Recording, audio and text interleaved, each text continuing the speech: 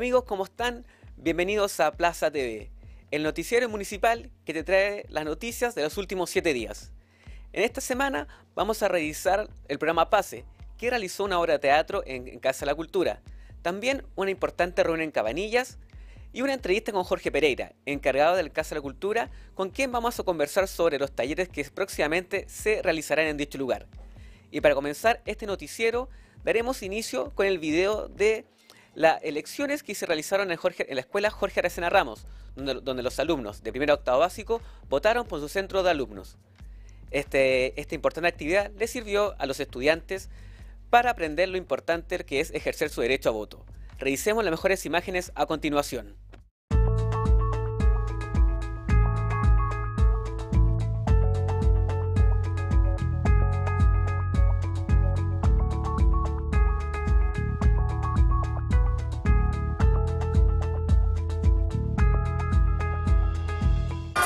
Hola, buenos días. Sí, miren, los alumnos estuvieron durante tres semanas en campaña y ahora se están realizando las votaciones para escoger al nuevo centro de alumnos de la Escuela Jorge ¿Y quiénes participan de este acto cívico?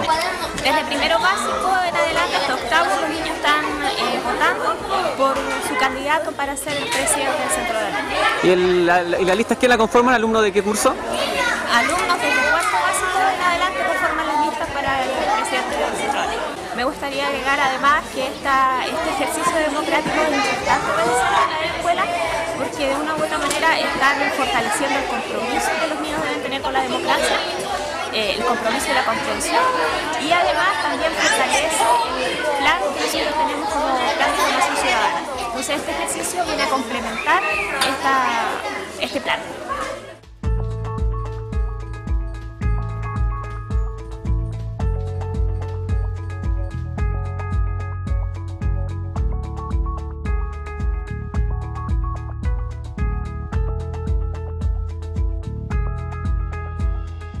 En el ámbito de la educación, nos trasladamos a la Casa de la Cultura, donde hace unos días el programa PASE, que es el programa de acceso efectivo a educación superior, presentó la obra Lazarillo de Tormes, en la cual participaron y tuvieron la oportunidad de apreciarla alumnos del Liceo Domingo Ortiz de Rosas. Recordamos que este programa PASE trabaja en tres, en tres, establecimientos de la comuna, que son el Liceo Domingo Ortiz de Rosas, como bien dije, Liceo Politécnico Pablo Rodríguez Caviedes y Colegio Villa Naranjos.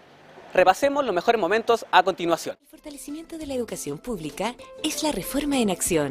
Estamos trabajando junto a las escuelas públicas y sus comunidades educativas para asegurar el derecho de cada niño y niña a una educación de calidad. ¿Cómo lo haremos? Mejorando la calidad y aumentando la cobertura en la educación parvularia. Mejorando la infraestructura y apoyando en el proceso educativo de los establecimientos creando nuevas instituciones de educación superior, implementando un programa de acompañamiento y acceso efectivo a la educación superior PASE. ¿Qué es el PASE? Es un programa de acompañamiento y acceso efectivo a la educación superior y tiene por objetivo apoyar a los y las estudiantes de educación media pertenecientes a los establecimientos más vulnerables del país. ¿Cómo funciona? Ayuda a los y las estudiantes en dos etapas. Durante la educación media. ¿Cómo? Orientando y preparándolos para la vida en la educación superior, entregándoles herramientas para desarrollar sus habilidades socioemocionales, orientación vocacional, entre otros. En este proceso participa toda la comunidad educativa, familia y establecimiento. ¿Cómo se seleccionan los estudiantes? No hay selección, pueden participar todos los y las estudiantes de educación media pertenecientes a los establecimientos más vulnerables del país. En la educación superior, aquellos estudiantes que accedan a la educación superior a través de un cupo PASE recibirán nivelación académica y apoyo psicosocial para la retención en la educación superior. ¿Cómo obtengo acceso directo? Para obtener un cupo garantizado en el programa PASE en la educación superior, los y las estudiantes tienen que cumplir con los siguientes criterios. Terminar en el 15% de mejor puntaje ranking. No se considerará puntaje PCU, aunque es requisito rendirla. Aprobar satisfactoriamente las actividades de preparación del PASE durante la educación media. haber cursado al menos tercero y cuarto medio en un establecimiento educacional del programa PASE. Asistencia sobre 85%. El plan contempla ampliar progresivamente la cobertura territorial de 7.000 a 74.000 estudiantes de educación media, llegando a 456 establecimientos en 304 comunas de las 15 regiones del país, siendo acompañados por 27 universidades, un centro de formación técnica y un instituto profesional.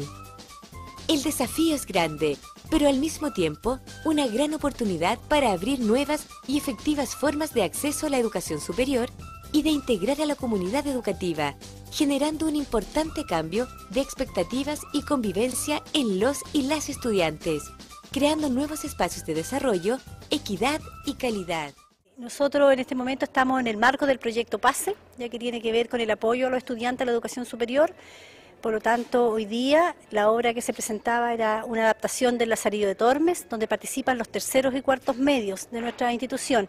Esto va en el marco de varias actividades. Mañana tenemos talleres con los alumnos de cuarto medio, eh, de formación laboral con los profesionales del SEDUC, durante de las 8 a las 3 y media de la tarde. Y el día 19, no, el 14 de mayo, van a la, a la Serena a participar los alumnos de cuarto D, a participar en un debate que van a participar con diversos establecimientos, incluyendo también alumnos del CEDUC UCN. Eh, bueno, nosotros somos la organización Teatro Puerto, somos una organización dedicada a las artes escénicas en la región de Coquimbo. Eh, trabajamos en toda la región, tenemos un espacio en la ciudad de La Serena, Casona La Gaviota, tenemos un festival, somos compañía y tenemos una escuela de formación de teatro. Y lo que estamos ahora en esta circulación, por esta vez por el Choapa, tiene que ver específicamente con la ciudad de Illapel, con la presentación de la obra El Lázaro, que es una adaptación de la novela española del 1540 y algo, El Lazarillo de Tormes. Y lo que nosotros hemos hecho es una adaptación para poder presentarla a los alumnos de enseñanza media de, que están en los colegios que está desarrollando el programa PASE.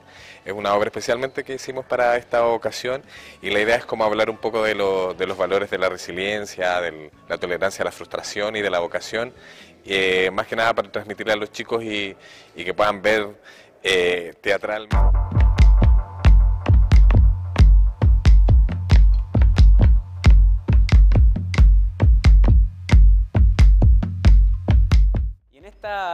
Sección de Plaza TV, en la entrevista con el funcionario, me encuentro con Jorge Pereira, quien es encargado de Casa de la Cultura, con quien vamos a conversar del acontecer de, este, de esta Casa de la Cultura, de las últimas novedades y también lo que se viene para este 2018. Bueno, Jorge, ¿cómo va la Casa de la Cultura? Tu balance de 2017 y también ya primer eh, trimestre del 2018. Bueno, la Casa de la Cultura es un edificio municipal que tiene, que, tiene, que alberga eh, disciplinas artísticas, que genera espacios y además también que, que, es eh, mirada por la comunidad como el centro cultural de, la comuna de Yapel. Y ante eso, la, administración del alcalde Denis Cortés Vargas ha generado un trabajo eh, a través de los equipos que están trabajando acá. Y ese equipo me toca dirigirlo a mí. Eh, yo ya llevo aproximadamente mm, cinco años acá en la en la, en la cabeza de esta Casa de la Cultura, eh, lo cual ha sido un trabajo eh, complejo porque mm, eh, el mundo del arte y la cultura es más bien un mundo que tiene muchos matices y que en el fondo cuesta un poco poder desarrollar las líneas que para todos que hay una conformidad, que para todos sea algo bueno. Entonces dentro de ese tema, nosotros hemos, hemos desarrollado tres líneas de acción, esas tres líneas de acción eh, son eh, la línea de acción de, lo que es formación artística, la segunda es extensión y la tercera es programación. En formación artística tenemos los talleres de la Casa de la Cultura, esos talleres que nosotros desarrollamos en el edificio, en este edificio tiene dos pisos, pero además también se utiliza el subterráneo que en un inicio, cuando esto fue diseñado, este edificio, fue pensado para los vehículos, pero ha sido se ha ido adaptando con el tiempo y se han generado lugares eh, comunes para poder desarrollar talleres también. Ahí está la sala de bandas, está la sala de pintura y también poder generar actividades dentro del subterráneo. Hemos, hemos eh, se, ha, adaptado un escenario para poder generar actividades también culturales. En el primer piso tenemos la sala de exposiciones, es una sala que está abierta a todo público durante todos los días de la semana y que además tiene como principal función que los artistas locales puedan eh, eh, tener un espacio para poder mostrar, artistas plásticos locales. Eh, además también hacemos nexos con centros culturales de afuera y otros artistas y gestores del, país que han venido a exponer acá a nuestra sala de exposiciones. en otros sectores se encuentra la biblioteca municipal, una biblioteca que es, es, es, implementada por el convenio que tiene el municipio con la DIVAM, eso hace que la obligación de la DIVAM sea eh, implementación del libro y del sistema eh, informático de los computadores y el municipio compromete el edificio, el lugar y además también los funcionarios. Eh, tenemos un auditorio que constantemente está siendo utilizado por organizaciones, por instituciones gubernamentales, por, actividades propias de la comuna, que está sumamente implementado, que en, un principio tenía una, una, especie de, de mesas, mesones con bastante incómodo, con silla, y que ahora a través de un proyecto que se generó eh, hace un tiempo atrás de la mano de, Lisandro Alcayaga, que también fue parte de la, de, la, dirección de este edificio, se pudo generar unas butacas que son realmente maravillosas, que son para un, eh, lugar como ese, como el auditorio, porque eh, son reclinadas, son cómodas y además también tienen un sistema de, de, mesitas como portátiles. Así que eh, ese es el auditorio.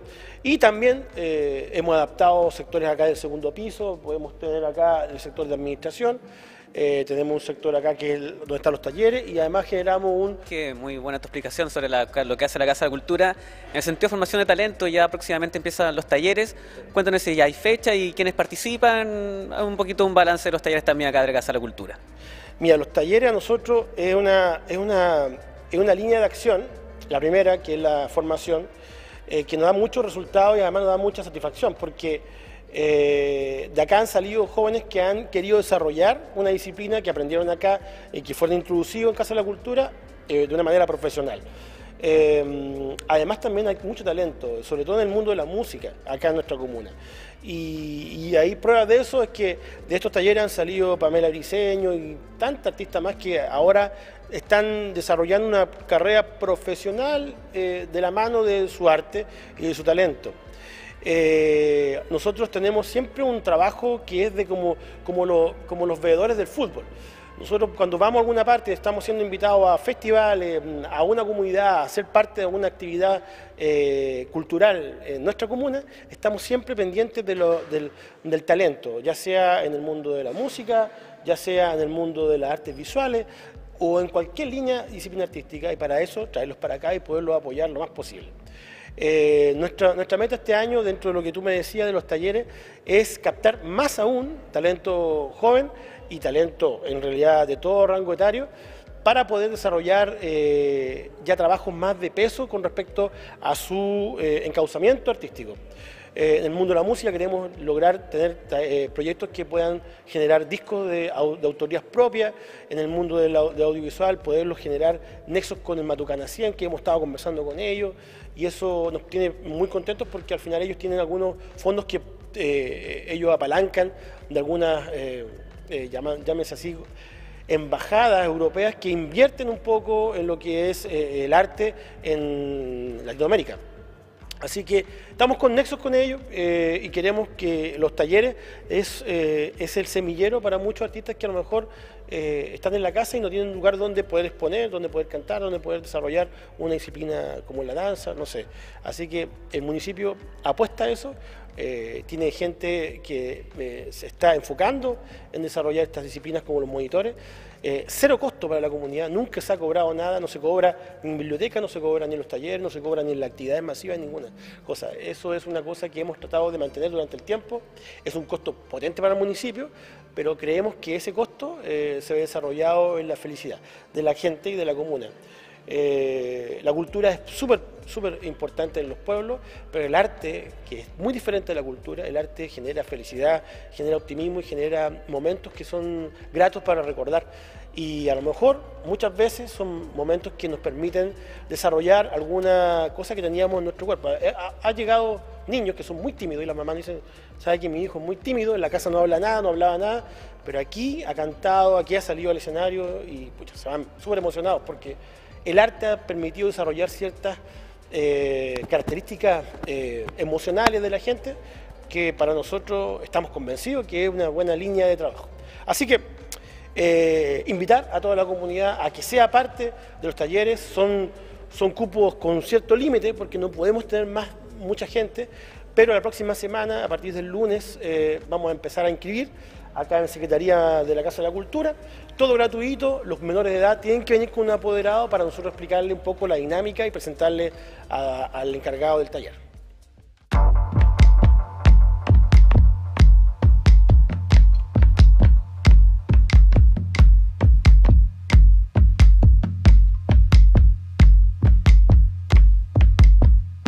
Y por último, excelente noticia recibieron los vecinos del sector de Cabanillas de Villa San Rafael.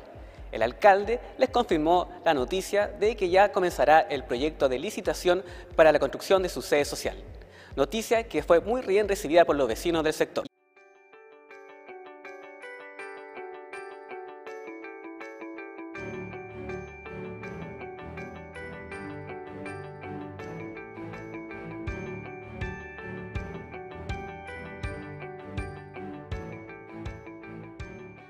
Nunca había tenido tanta gente reunida en mi población sobre todo. Eh, me alegro mucho de eso y más que la expectativa que está por la sede era mi prioridad. Ustedes saben muy bien que nosotros acá no tenemos sede y además no podemos hacer nada, pues entonces esperando esta noticia que es muy bonita que el alcalde nos dio, que ya se puede hacer y llegar nomás a hacerlo construir y queremos inaugurarla y con él. Mira, acá ha venido el boom de la sede porque a pesar de que tenemos un centro comunitario, y la gente está a dos cuadras y no quiere ir a reuniones, cada uno de las poblaciones quiere tener su sede. Nosotros ya llevamos eh, dos, tres sedes hechas acá en este sector y acá vamos a hacer una próxima y por lo tanto aquí venimos a darle la noticia de que ya estamos en el proceso de licitación para una sede que ellos lo han pedido hace bastante tiempo. Eh, Además también esta, estas reuniones que se hacen al aire libre, como ellos lo han pedido, porque no quieren ir a la reunión a, otra sede que nos prestan aquí cerca, eh, lo importante es que aquí la gente se libera más y no sé cómo que la gente opina más, participa más. Y aquí salieron temas, aparte de la sede, que ya le entregamos la noticia que le vamos a construir, eh, el tema de la seguridad ciudadana y el tema de la salud. Eh, la gente fue súper eh, súper clara en hacer presente su molestia, eh, su, disconformidad por la inseguridad que tienen.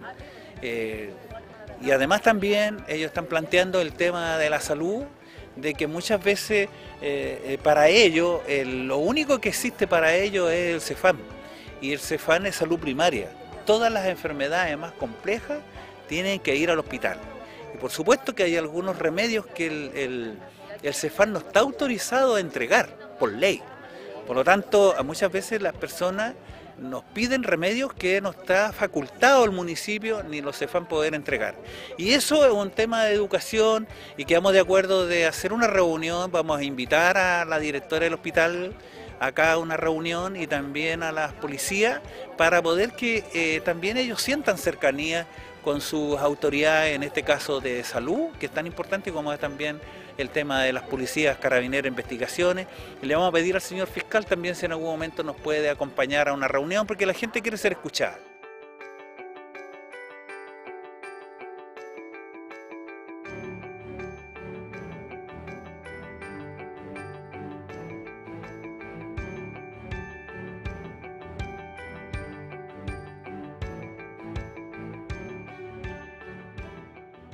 Ya concluyendo este nuevo Plaza TV, nos despedimos desde la biblioteca de la Casa de Cultura, la cual está abierta de lunes a viernes de 9 a 14 horas y de 15 a 18 horas.